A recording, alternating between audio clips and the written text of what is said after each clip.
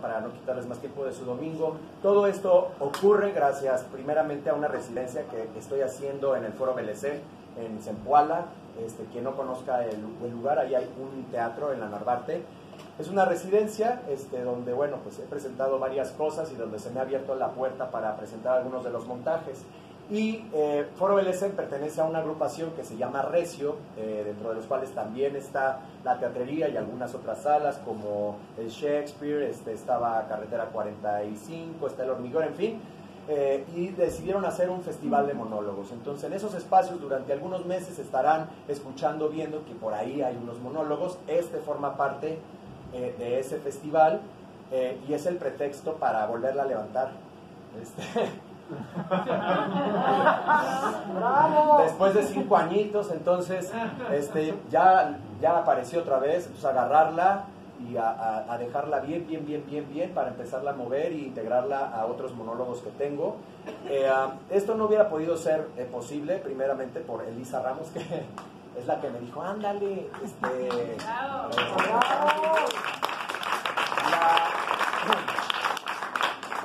la invitación directa, constante y sonante de Sonia Cobo por parte de la teatrería, que ellos estaban interesados en que presentara Bambis aquí y ya se hizo realidad. Yo también tenía muchas ganas de presentarla en este, en este espacio. Entonces, son dos personas básicas ¿no? dentro de, del grupo de gente que está involucrada, además de, de un equipo eh, eh, X Emergente AC que está produciendo eh, ejecutivamente, eh, al igual que 8 metros cúbicos, que es la compañía a la que pertenezco, para pues eh, organizar lo, lo, que hay que organizar para presentar un monólogo. Muchísimas gracias a la gente de la teatrería, Giovanna, César, a todo el equipo de, del BLCN, este, a Mike Calderón, a Aurex, a, a, Fernanda, a Sharon, a la persona de marketing, eh, obviamente a Elisa Ramos, a Hassel, bueno, todo es un equipo que me apoyó este, incondicionalmente para que pudiera estar aquí, para que pudiera estar en otros lados.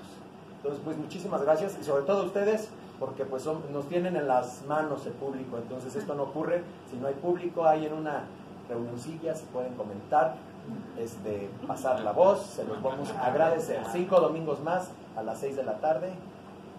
Muchísimas gracias.